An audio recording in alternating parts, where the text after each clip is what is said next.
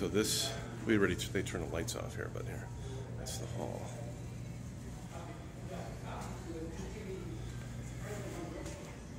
And then this is where they would prep the food in here.